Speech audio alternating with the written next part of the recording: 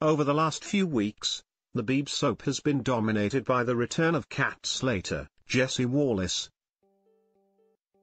Jean, Gillian Wright, and Big Mo, Laila Morse, to the EastEnders cast, and their debt issues.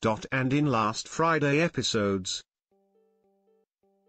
Jack Branning's, Scott Maslin, Nanny Ingrid Solberg, Pernille Broch, came back to Walford. But fans noticed that she wasn't seen nannying Jack's kids Ricky, James and Amy. In fact, hard answers have been left wondering where all the kids of Albert Square have wandered off to.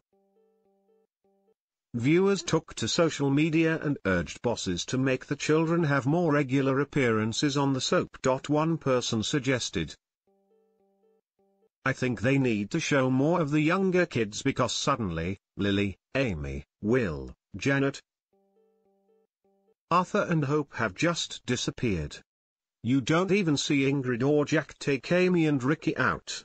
I get the child actors can only work a certain amount of hours a week but there's not even a scene of them going out or being taken to school, continued another.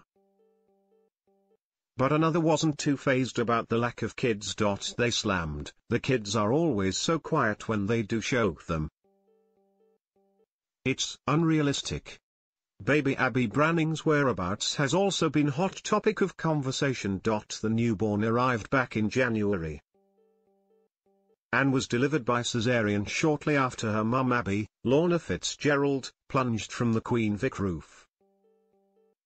The youngster hasn't been seen since her granddad Max Branning, Jake Wood, named her and opted to be her sole carer since. Abby D. says know that a devastating bombshell is around the corner for two of the teenage members of the cast though. Spoilers have already revealed that Shakil Kazemi, Shaheen Jafargholi, and Keegan Taylor's, Zach Morris, lives will hang in the balance. When a mystery character attacks them in a harrowing double attack. Catch EastEnders tonight at 8pm on BBC One.